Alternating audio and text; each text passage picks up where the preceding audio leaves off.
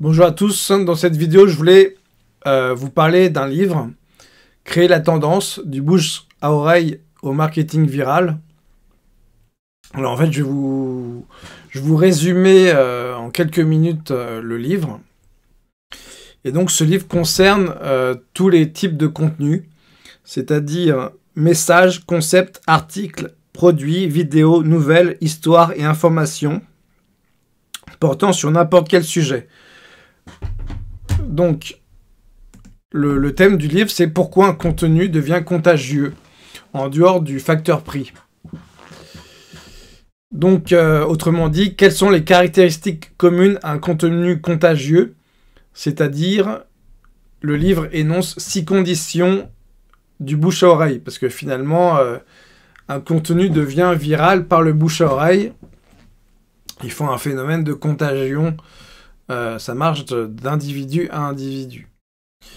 Donc le principe numéro un, c'est le capital social. C'est-à-dire que euh, pour parler de votre contenu, il faut que euh, l'individu ait l'impression, enfin ait le sentiment de faire bonne impression. C'est-à-dire qu'il faut que, que, votre contenu soit cool, il faut que votre contenu soit utile, extraordinaire, il faut que ça crée la surprise, l'étonnement. Voilà. Euh, faire en sorte que les gens se sentent dans le secret ou remarquables à parler de ce contenu. Donc c'est ça qu'on appelle le, capital social, c'est-à-dire que euh, qu'on fasse partie de Happy Few finalement. Euh, principe 2, les déclencheurs. Donc les déclencheurs, ce sont des stimuli qui incitent les gens à penser à votre contenu en particulier.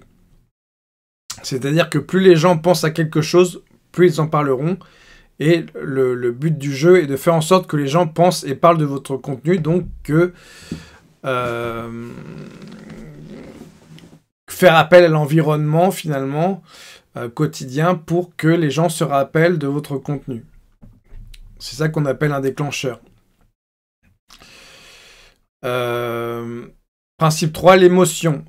Donc il faut concevoir des contenus qui jouent sur les sentiments donc des sentiments intenses qui suscitent des émotions fortes. Quatrième principe d'un contenu viral contagieux, c'est la visibilité. L'être humain a tendance à imiter ou à vouloir égaler ses semblables. Plus la visibilité de votre contenu sera grande et plus il sera susceptible de devenir populaire. L'idéal étant de créer un contenu qui créa qui, fera sa propre publicité et créera des comportements qui persisteront dans le temps après l'achat ou l'adoption. Cinquième principe, la valeur pratique. Les gens aiment se rendre utiles. Si vous leur faites connaître un contenu qui permet de réaliser des économies, de gagner du temps ou d'améliorer leur santé, ils en parleront à coup sûr mais votre contenu doit se démarquer. Vous devez souligner le caractère exceptionnel de la valeur que vous offrez et vous devez formater le contenu de manière à ce que les gens puissent le transmettre facilement.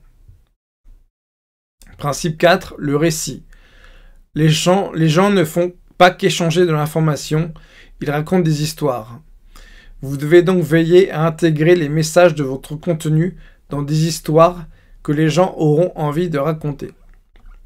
Donc en conclusion, un contenu pour être contagieux doit procurer du capital social, doit être visible, associé à des déclencheurs qu'on retrouve dans un milieu donné, est un récit captivant et doit posséder une valeur pratique et provoquer des émotions.